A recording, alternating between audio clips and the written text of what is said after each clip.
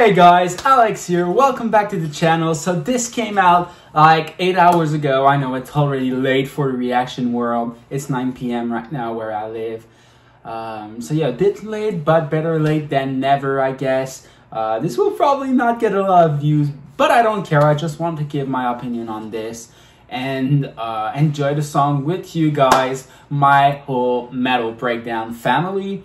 Uh, also, yeah, why the fuck am I dressed like that? Because I just finished work and I was too lazy to change myself. So you have it, but yeah, it's not really fitting the whole deathcore vibe that we will get today. By the way, um, the album cover. I assume it's the album cover. So far, only the single has been released, but I think it's the album cover. It's it's incredible. It's so beautiful. I don't have it in front of me, but I remember looking at it and I was like, wow, chef kiss. okay, so uh, there's a music video to go with it. So let's go, guys, for the review and reaction of You Must Die, the very first single from the upcoming Suicide Silence album. Let's go.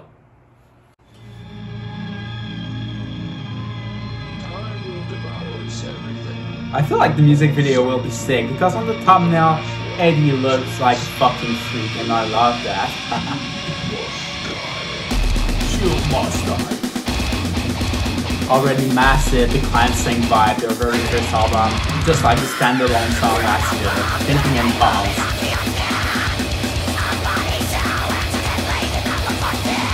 Eddie looks so badass with long hair, I love that.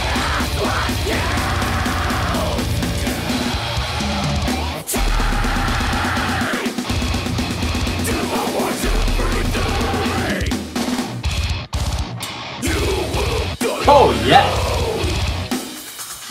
This is groovy.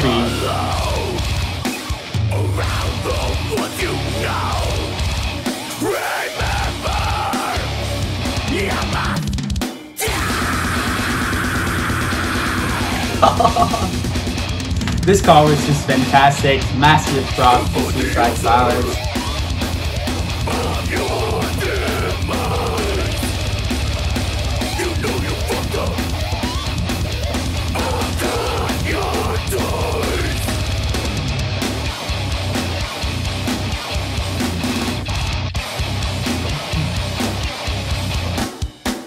Is this Mark had his hair removed? What the fuck?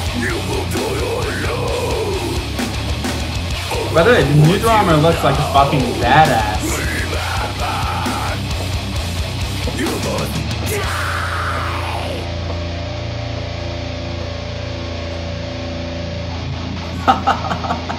he looks so freaky. I love that.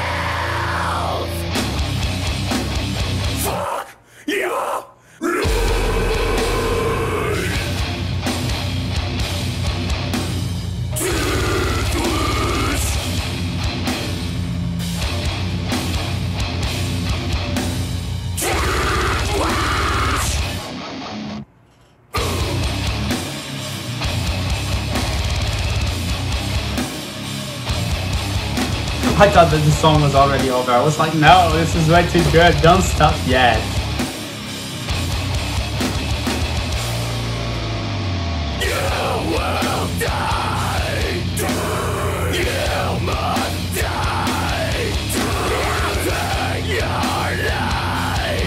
It's crazy how they all became like super old, just on the verge of dying. What the fuck?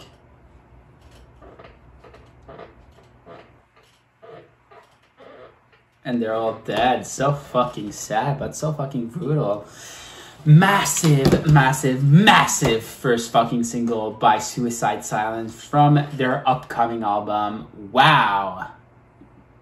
So yeah, is this the name of the album as well? I'm not sure anymore, but it's definitely something I'm looking forward to. Massive, massive, massive thumbs up. I feel like the last album was already a big step in the right direction. Um, but this is like something else. This is even better. This is on the level of You Can't Stop Me, which was for me a fantastic album, and even on the level of the first three albums with Mitch. Uh, so yeah, massive, massive thumbs up to Suicide Silence.